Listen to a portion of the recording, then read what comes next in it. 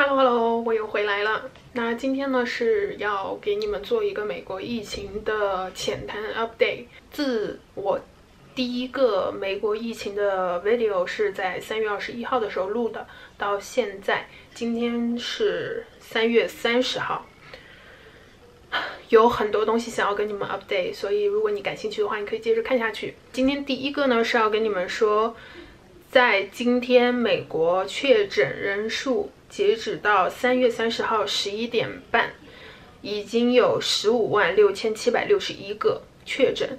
今天单日就是从凌晨到早上十一点半，单日确诊的已经有一万三千多个，治愈的呢只有五千个。就是从疫情开始到现在，再加上死亡的呢，已经有两千八百四十八个。这个数字真的是非常吓人的。从三月二十一号一直到现在，那个时候才两万多。今天是三十号，一共九天的时间，已经到了十五万多。这个还是不完全统计，就是还有很多人没有被检测到。因为我在纽约嘛，在第一个视频有说过，那单单纽约州今天呢就已经确诊了五千八百十八例。从十五万的总共的美国确诊人数里面，有六万六千多个都是在纽约州。好了，那接下去呢，我就是要跟你们说，今天早上呢，我男朋友打电话给我，昨天的时候新闻里面报道。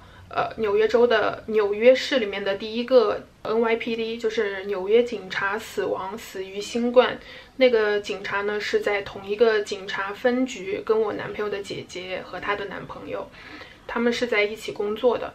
然后昨天呢就已经说这个人已经死亡了。在这个之前呢，其实我我男朋友姐姐的男朋友。一直都是跟他有一起共事的。他姐姐呢，有一因为也是纽约警察，所以有一个自己的拍档。那那个拍档呢，也在昨天的时候被确诊了。就是昨天男朋友的姐姐的拍档确诊了以后，我男朋友的姐姐也去跟家里面所有的人一起去做了新冠病毒的检测。今天早上已经得到了结果，所有人都得了，无一例外。跟我男朋友他姐姐住在一起的呢，有我男朋友的亲生父亲，还有我男朋友姐姐的儿子，还有我男朋友姐姐的男朋友。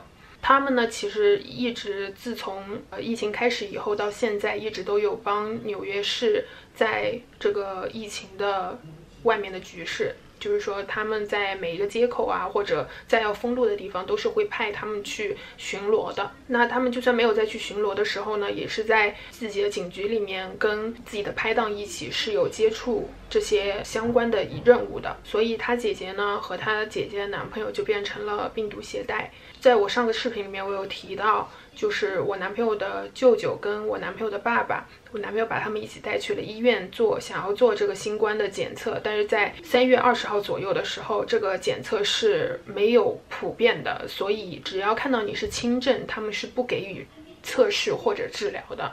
但是自从那个时候，在这之前的一个星期，我男朋友的爸爸就已经一直在咳嗽，但是因为他们不给检测，所以就是无从得知到底是不是新冠。就在昨天，他们去检测完以后，今天早上知道了结果，他爸爸和所有的住在一起的人都已经确诊了。美国人，我觉得现在他们的想法就是，只要我身边的人或者我认识的人没有被确诊，这就不是什么大问题。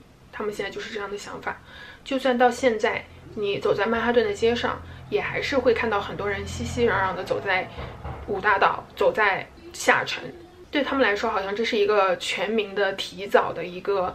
假期还是没有那么多人戴口罩，当然现在已经我就我会说比例是在百分之五十左右，就是戴口罩的人，可是不戴口罩的人还是有非常非常的多。在呃正常的情况下呢，美国政府是不会关闭公立学校或任何学校的体制的。自从关闭到现在，学校里的学生几乎是没有人戴口罩。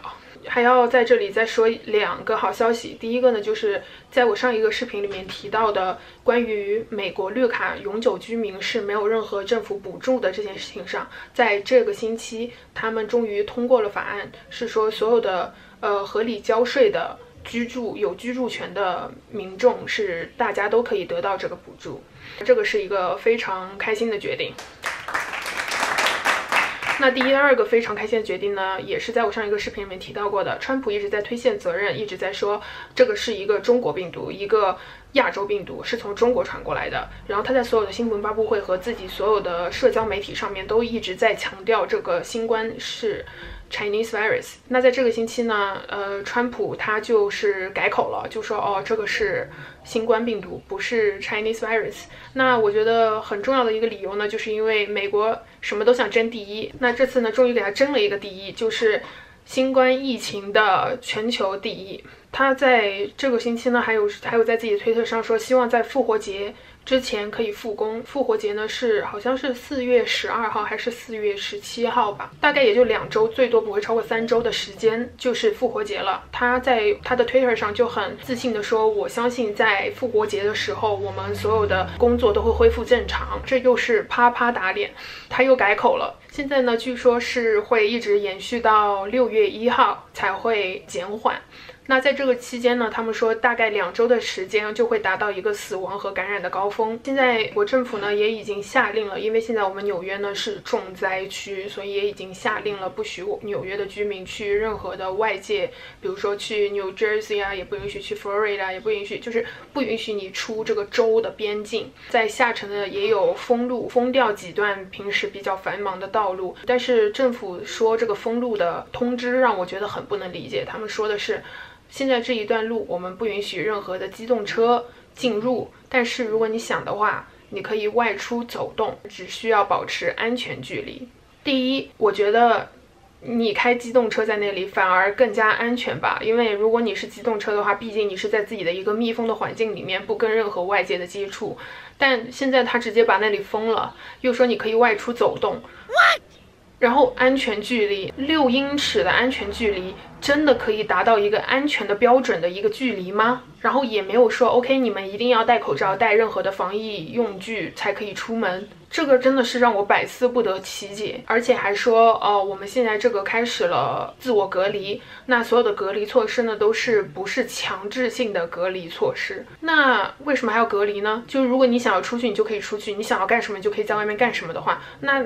为什么还要叫隔离呢？就算一直到现在，我们一打开 Instagram，虽然没有一开始那么夸张，但是大家还是有一起聚会。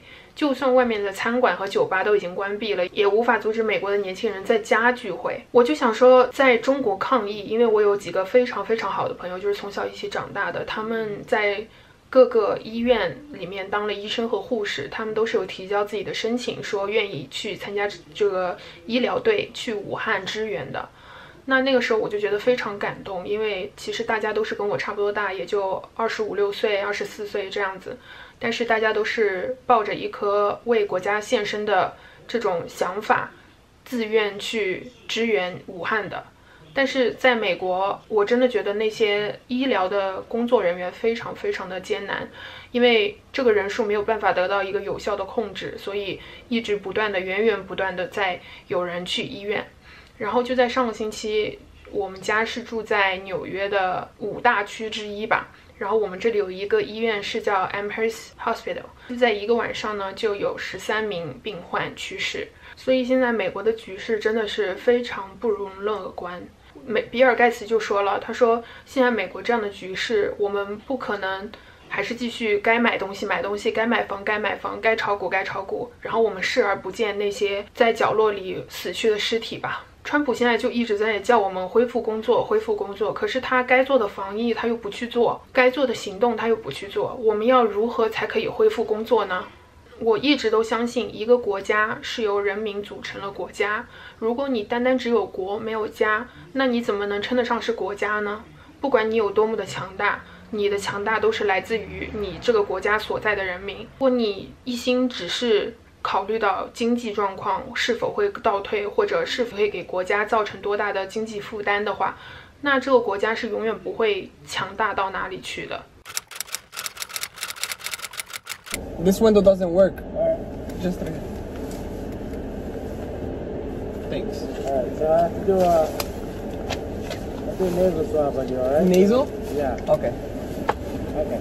Alright, so it's on both nostrils. A little uncomfortable, we'll do it nice and quick, alright? Just look up. Nasal swab, good. Oh yeah, it feels weird right now. I know. Oh, sh- That'll wake you up, right? Alright, you're good. uh.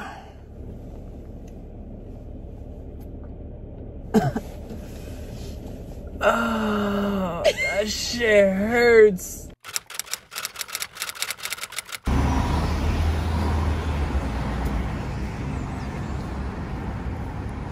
已经快三个星期没有出过街了。现在纽约就是这个样子，大部分店都已经关门了。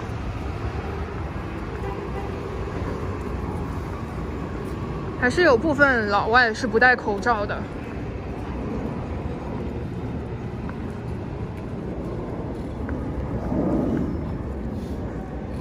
大部分中国人都是戴着口罩。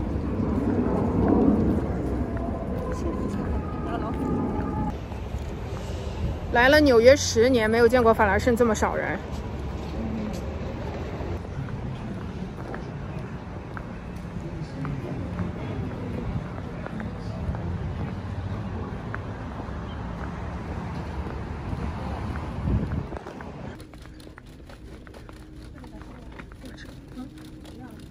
没什么需要的。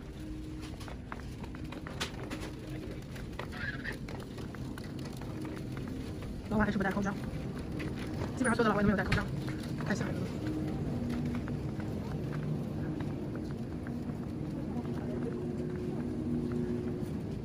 没有很多人，但是都不戴口罩。我刚刚看进门的时候看到 Target 的工作人员也都是不戴口罩的，只戴手套，而且没有保持安全距离。现在看起来就是只有中国人紧张，老外根本就不 care，他们还觉得我们是神经病的可能。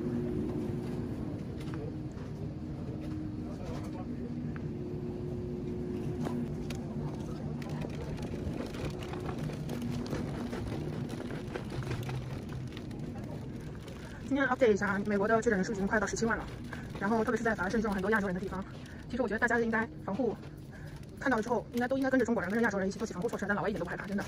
逛街的时候还是照常逛，悠悠然，只是人比平时少而已。昨天那个视频里面，我说到有百分之五十的人戴口罩了，感觉这就是外界的一个呃新闻里的说法。其实大部分的老外仍然没有戴口罩，这连小孩都没有戴口罩。